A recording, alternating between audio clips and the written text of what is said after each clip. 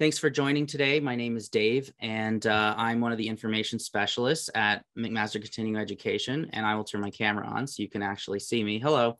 Um, so I'm one of the information specialists here at McMaster Continuing Education. Um, information specialists are your first point of contact for any general questions or advice uh, assistance with selecting programs or courses uh, and other other help you know study you know what what courses you should be taking at certain times etc uh, so the purpose of this webinar is to give you the opportunity to learn more about what you can expect at mcmaster uh, as a mcmaster continuing education student uh, and to provide an opportunity for you to ask any questions that you may have. This webinar will be useful for individuals who are thinking about enrolling uh, in our courses uh, uh, new students and current McMaster undergraduate students or alumni who are considering enhancing their skills with uh, continuing education courses.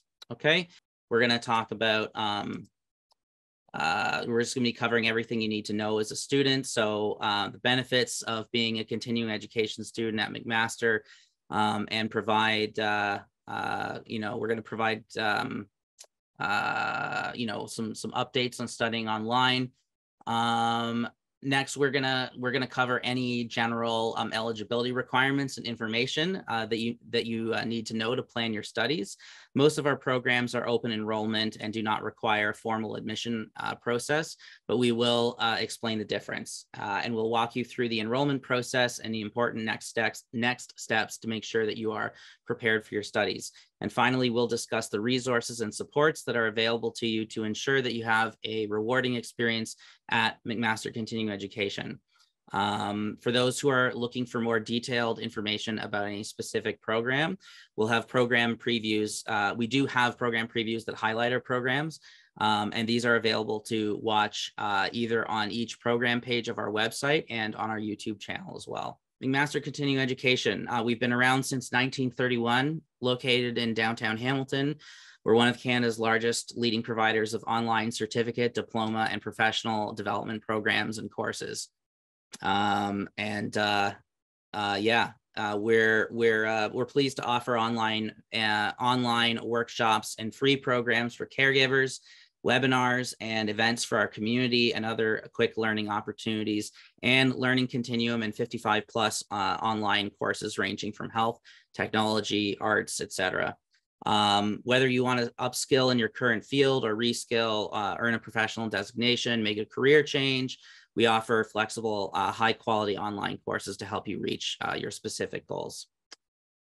Um, so the benefits of uh, continuing education um, are that um, uh, are that there's you know we, obviously learning relevant skills for today's job market right? Um, that's you know in the end probably why all or most of you are are here at the end of the day it's about you know what can i you know what can i do um, to sort of enhance my my career or or jumpstart my career or whatever the case may be um, so uh, yeah, our programs really focus on learning practical in-demand skills from industry experts. Uh, the, the instructors are, are all industry experts.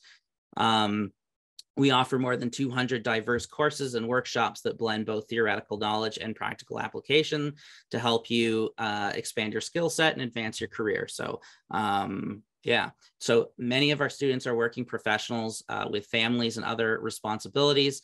And that's why we offer, you know, courses that are flexible and online. Um, you know, you have multiple start dates through the year. You have um, most of our courses are uh, uh, well, all of them are delivered online, and then many of them are delivered in an asynchronous online format, meaning that you can just go on uh, and you know between the you maybe have to meet some deadlines for assignments but other than that you're doing things on your own time. You're not showing up for specific class times. Now depending on we have lots and lots of programs. So depending on the program there are some programs that do offer like a virtual classroom experience and those ones are all labeled as virtual classroom. Uh, and in those ones you are sitting uh, with like you go you go up at certain times and you're there with uh, uh instructors and you're sort of getting the whole you know the the live uh, experience experience, but through the computer. Um, I'm pretty sure we're going to cover that in a, in a later slide, but yeah, just a little uh, preview of that. Um, but yeah, our our courses are really designed uh, to give you know allow work life balance and allow you to uh, um, take courses you know one at a time if you want to whatever um, in order to uh, fit your busy schedule the next slide we're going to talk about uh, just some covid-19 information and updates um, we are you know committed to supporting our community in this area um, and we uh, uh, you can visit uh, um, continuing.mcmaster.ca slash about us for the latest information and frequently asked questions. Um, so uh, basically something to know is that our um, downtown location is not generally open to the public right now. Um, and, uh, but we are still full capacity running our courses. All of our courses are entirely online. So it, there's no impact on, uh, uh on what courses are available and, and stuff like that. Um, uh, the uh, exams and stuff are, are, held online as well. Um, and uh, uh, the programs that previously were in person um, are running in virtual classroom formats um, and uh, and you know we're developing stuff all the time to you know find like the best the best fit the best options you know offer the best spread of options to accommodate the most number of students. So um uh, so yeah, that is uh, that's basically what you need to know there. Um, basically, whatever program you're in, you're going to be able to uh, uh, you're going to get full access to like whatever you whatever you need digitally. Okay. Um, so here's uh, here's where we go into a little bit more what I was starting to talk about earlier, um, which is the learning formats uh, here. So um, uh, so the virtual classroom has, uh, like I was saying, this is an online classroom environment. Um, classes uh, are held at scheduled uh, times, uh, you know, depending on, uh, and, and when you go and look at, when you go and look at classes, like, because you're probably sitting there thinking right now, like, okay, well, which format is the course that I'm interested in? what, what is that being presented in? Well, when you go look at it on our website, you'll see that each um, course section that is available for enrollment at the moment will say on it virtual classroom, online, or online self-study. It's going to have a little yellow badge on it that tells you that. Um, so that's how you know. But most of our um, uh, classes are uh, in, in the format that you see in the middle here, which is this online format. Um, so uh, uh, so yeah, the virtual classroom is, you know, you're sitting there in a, you know, in a setting kind of like this one where there's somebody talking to you um, you know sort of face to face and there's interaction and uh, you know stuff like that. They're at particular times. You log in at these like set times every uh, every week or twice a week or whatever it is okay? Um, and then uh, uh, the online one is like you have you have an instructor uh, that you can reach out to for help. And some, you know, it's just different for each course. Some um, prof- some instructors will post videos, you know, uh, readings. Uh, there's usually discussion boards, quizzes, uh, group and individual assignments. Um, you know, weekly interaction with instructor and peers, and but you don't need to log in at a specific time. You just kind of do the stuff on your own time. Uh, so online self-study is similar to that, um, although it's even more um, customizable um, and like more independent. So online self-study courses, they uh, uh, they tend to operate on a longer timeline in terms of the uh, the start date and the end date, and you have a longer time to complete them. And you can also, uh, but you can choose if you want to to complete them really quickly. So let's say you have like I don't know, three or four weeks where you are not doing anything else and you are prepared to just like sit down and like just just you know bang out all the work for for one course you you know you can you can do that uh, and you can set uh, an earlier exam time than uh, uh than would be offered otherwise if you were doing it uh, via one of the other learning formats. Uh, so that's that's how that works okay? Um, so uh, moving on to, uh, you know, planning your studies, obviously, just depending on what your situation is. I'm not going to go through this slide in too much detail. It's pretty self-explanatory, but you know, uh, if you're if you're working full time, and we, we usually um, let students know that um, uh, most of our courses are approximately uh, six to eight hours a week uh, in terms of the time commitment that it's going to take to get work done. So uh, for the course, that everybody's going to be different. Of course, that's just a you know general estimation, but you know, uh, you can always take a look at the, um, uh, if you navigate on our website, there is a link to a uh, course, uh, uh, a course overview, or sorry, a uh, like a database of course course overviews, and you can download those, and you can get an idea then of what you know how how how hard this course is going to be for you i guess how long it's going to take you realistically i'm um, looking at the content that way. Um so um uh yeah just make sure that when you register in courses you're just doing you know you're you're registering for stuff in accordance with how much time you have right? If you're working full time if you're super busy you're a parent you're uh you know you work multiple jobs what shifts whatever just you know take into account how much time you have and uh uh, you know, plan plan accordingly and register for for courses appropriately. Um, and uh, yeah, that's that's pretty much it. I think you guys, uh, you folks, all get that. Okay. So, um, uh, so how to register? Uh, this is uh, definitely this is an important one. Um, so registration criteria. So most so uh, it depends on what program you're interested in. Some programs have uh, do have um, registration criteria that's a little bit more specific. But for most of our programs and for most of the programs you guys said you were interested in uh, well especially the business ones um, there are uh, uh, not really too many requirements beyond what is listed on this screen here. So um, basically we want students to have an Ontario secondary school diploma or equivalent, or to be a mature student, which means you've been out of high school for a number of years and you've been working, um, or you're deemed an exceptional case to this policy for some other reason. Um, and uh, and if English isn't your first language, you should be sure that you have pretty strong proficiency in English.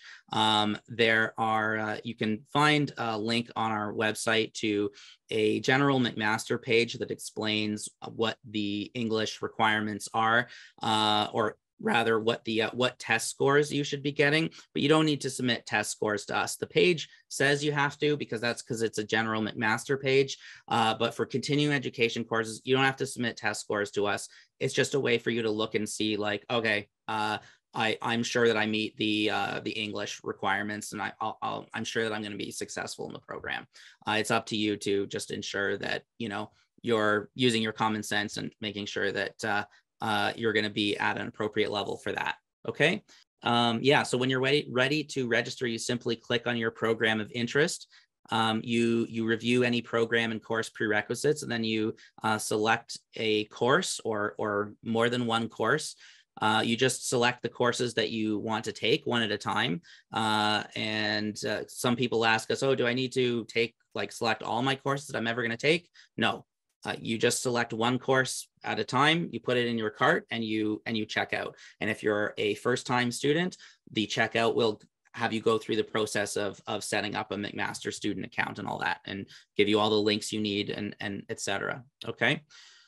Um, there is a how to register video on uh, YouTube. Uh, if you need more assistance with this, it walks you through the process in great detail, or you can reach out to me uh, and my team, and we can help you with that as well. Okay. So, um, yeah, important uh, to to you know budget for your studies, reviewing course fees, and keeping your budget in mind. Um, if if you are looking at courses and you see like, oh, um, this course that I need to take in the future, it's not available right now. So if it's not available, it's not going to show what its current price is. But a little a handy little tip uh, is that uh, courses are always the same price when they begin with the same course code. So um, if there's a course that starts, the course code starts with HRM, Human uh, Human Resources Management, uh, which probably a good number of you are interested in. Um, human resources management programs, they all have the exact same price. So if you can see that one is available, um, then then you you know even if something that you know you're going to take eventually is not going to be available, you don't have to worry that that's going to cost like three times the price or something. I mean, prices can change year over year, uh, but probably not by that much. so uh they uh yeah so so uh that's that's just something you can get an idea. Uh there's no tax on those fees that you see on the website as well in case you're wondering about that. Um, and for hrm in particular since i was talking about it i know off the top of my head that there's no textbook fees for that course. So literally the entire uh for any of those courses. So for that entire program the fee is literally just the the uh, course fees uh, added up. And uh uh, and uh, and then there's a $39 registration fee for new students that that uh, you pay when you register for your first course one time only. Um, and that's it. Um, and for other courses it's a little bit different. There might be textbook charges and stuff but just to give an example what is mosaic? So uh, mosaic is mcmaster's administrative information system. Um, it is the uh, uh, it's basically the place where you look after all your student admin stuff. So um, it's uh, you'll you'll get a link to this website uh, if and when you uh, enroll in a course with us, um, and you will be issued a, uh, a, McMaster student ID in order to log into this. Basically, this is an important central tool. Um, this is not where you access your classes, and we're going to talk about that next. but this is where you access your administrative information. So when the time comes that you are ready to graduate and you're thinking, hey, I finished all my courses for my program, all the requirements, how do I, where, where's my piece of paper? Where, where's my credential? Well, this is where you go uh, to, to apply to graduate. Um, and uh, it's also where you go to get receipts. If you need uh, financial information, uh, you can check here and make sure that you have properly enrolled uh, in a course. You enroll on, uh, for courses on our website itself, not through Mosaic, uh, but you can go on Mosaic and check and see like, okay, yes, it worked. I'm enrolled in that course. Um, so um, you can request trans transcripts here and uh, more stuff like that, just documentation, general administrative stuff. Uh, you use your Mac ID to log into uh, uh, Mosaic. And when you are logging into Mosaic, you're using, um, you're, you're going to get a Mac ID and your Mac ID is kind of like, you know, well, typical sort of, you know, version of your name, maybe with some numbers or whatever, um, and then at mcmaster.ca, and it's your McMaster email address.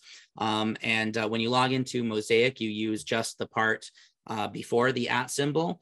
Uh, whereas when you log into Avenue to Learn, you uh, log in with the, the whole email address, including the at mcmaster.ca at the end.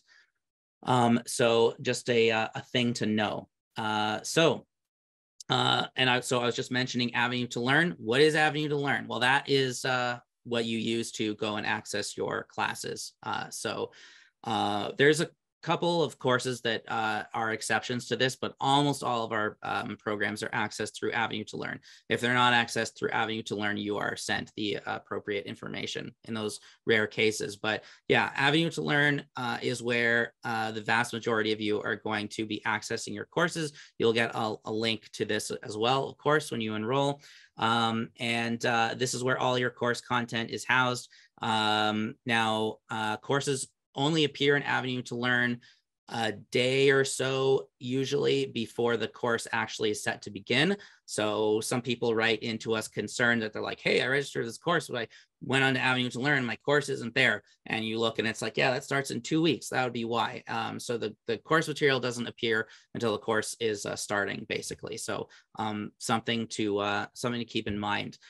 Um, so um, uh, some, so like I said, before when you're you know in these online courses like these largely use uh, sort of mixed media uh, approach to teaching. So you'll log in here and you'll find uh, you know you, there may be you know there there could be zoom sessions included even in a in a non-virtual classroom but not stuff that's like scheduled on a regular basis but maybe a discussion or something um, as well as you know uh, um, uh, other other stuff posted here, discussion boards, uh, links to things, uh, downloadable materials, that kind of stuff. Okay.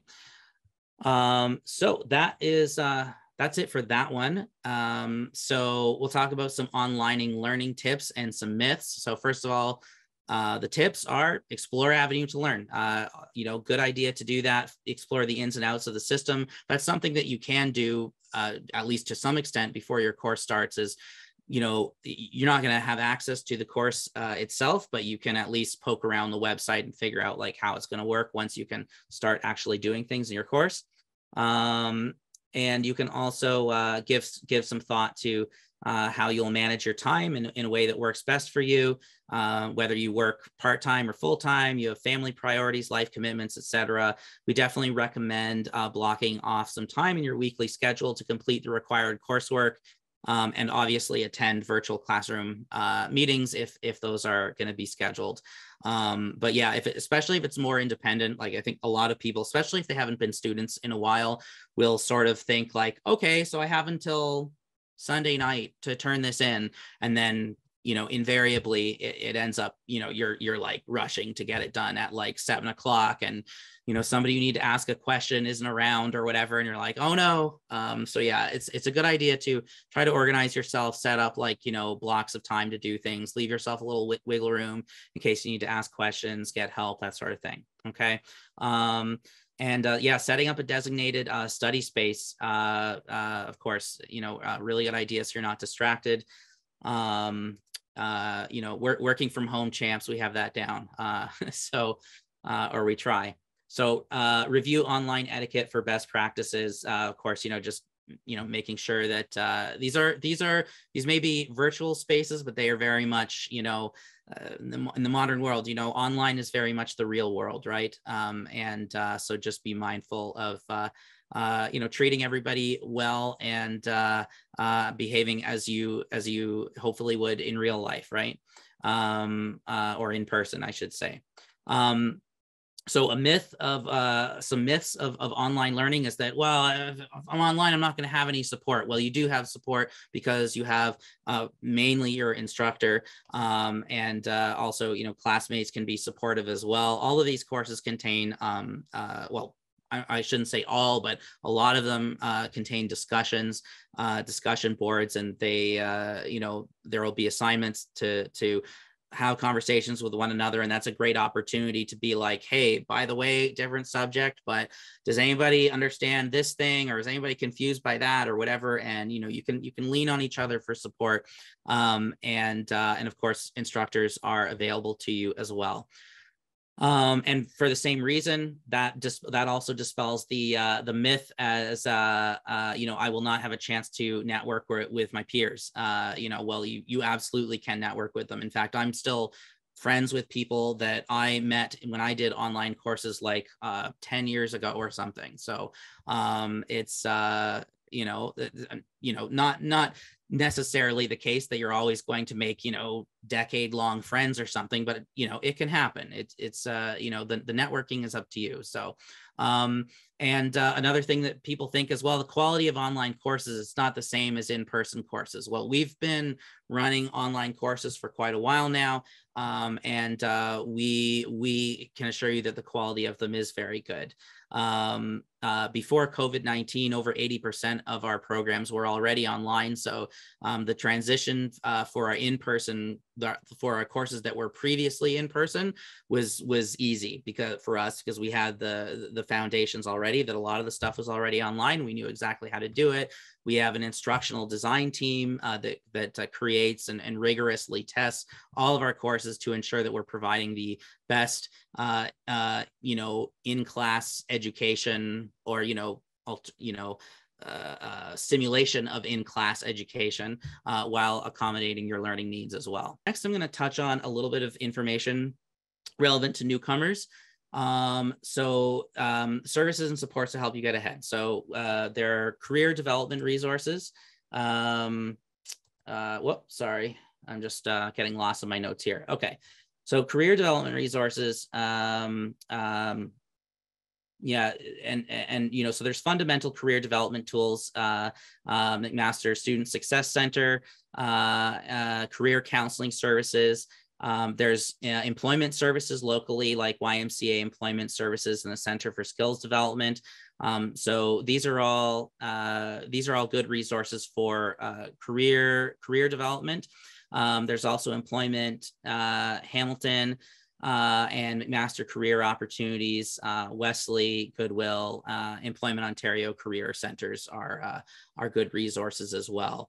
Um, so yeah, basically, um, uh, uh, there's other uh, there's there's actually further resources for uh, newcomers on our uh, on our information page as well. So that is going to be um, uh, uh, that that should be useful to you if you uh, navigate to that on our website. Um, so I'll also just talk quickly about mental health resources. So um, uh, so yeah, there's uh, community services and tools to support you include McMaster mental health resources, um, uh, uh, Black, Indigenous, and person of color um, uh, mental health resources. Uh, you know, mental health resources uh, focused towards these groups. Same, you know, same thing. LGBTQ plus mental health resources, mental health resources for women. Uh, community crisis and counseling, mental health resources, community mental health resources in general, and online mental health re resources. So next we'll talk about writing services. Um, so um, so basically, a reason you might want to use our writing services is that you struggle to get started with writing assignments. And you also feel you often feel stressed while writing. Um, maybe you keep getting the same feedback on your assignments, but you're not really sure what you should be should be doing differently, or you just want to chat with someone about specific writing questions and techniques.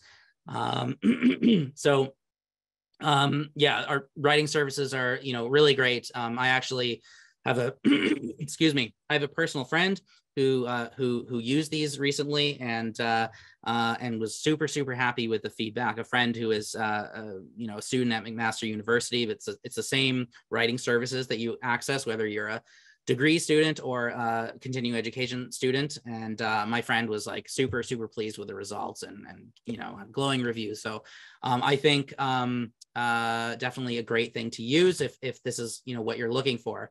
Um, these services can help you build skills and learn strategies to improve your academic writing, write more efficiently, um, understand how to effectively communicate ideas, how to explore your ideas from different angles, identify your strengths and weaknesses, learn how to correct common errors, and uh, just help you work on assignments at any stage in the writing process. And they, you know, they can sometimes help with ideas beyond just like the writing part too, in terms of like, oh, like this, you, you know, maybe you should rethink this whole sort of like concept or the way you're approaching it, that kind of thing. They're, you know, kind of like overall like tutors in that sense. Maybe not not like subject matter experts, but you know, in terms of uh, you know, if you're writing a paper, right, it's like how to write a good essay or something, you know, that stuff can be pretty universal.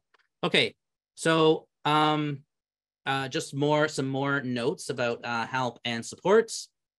Uh, so once your course begins, your first point of contact for assistance for your course would be your instructor. So um, if you if you're having trouble with like the course content specifically, certainly like when you have questions, you run into problems. Yes, you can you can write to us, but if you're writing to say, hey, I don't understand this or that in my course, you should be reaching out to your instructor or you need an extension, you need, you know, you missed something, that sort of thing. Um, just definitely uh, uh, reach out to your instructor for that. Um, if you're having, but uh, definitely reach out to us. However, if you are um, having difficulty with, say, like your Mac ID login, um, and uh, uh, and and possibly uh, university technology services as well you might have to refer you to but um, typically like basic uh, sort of tech issues we can we can uh, help you with. We have a, uh, live chat service that runs kind of through the middle of the day typically um, not always always but most uh, tuesdays wednesdays thursdays uh, from 10 a.m to 2 p.m you can reach us on live chat you can also submit questions through our our contact form uh, there's also, oh, uh, there's helpful links here. Please, if you are planning to be a student, bookmark this page because uh, there's a there's a ton of stuff there that will help you. Um, uh, most of the questions that we answer for students are uh, probably contained on this on this FAQ page. Um, and uh, so so check that out. It will def you know bookmark it. That will definitely uh, help you a lot. Okay. Um, and uh, yeah, that uh, down down uh, on the left side there, McMaster Continuing Education Information Specialist Team. That's uh, that website. There is where uh, you can you can reach uh, myself and my colleagues in, on the information team. All right, we'll we'll leave it there. Thank you, everyone, and have a great rest of your day. Cheers.